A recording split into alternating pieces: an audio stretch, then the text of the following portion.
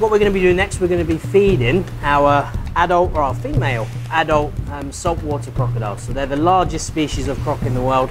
They're also known for being one of the more aggressive species. So it does make feeding time um, a little bit lively, but it's also quite fun as well. So one thing we, we have to make sure that we're looking for when we're feeding them, we have three of these salties in here and we don't want them right next to each other um, when we're feeding them.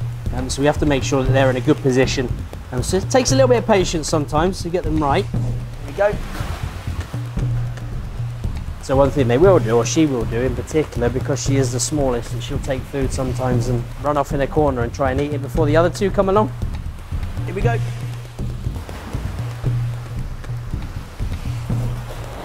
So the reason why they're jumping up the water like this, they are there's a few species that are slightly more athletic than other species. So um, salties are known for being very athletic species of crocodilians. So them jumping out the water, it's great enrichment for them because it's the way we exercise them and move them around.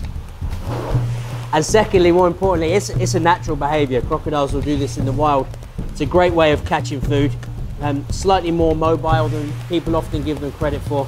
And it's just great to watch.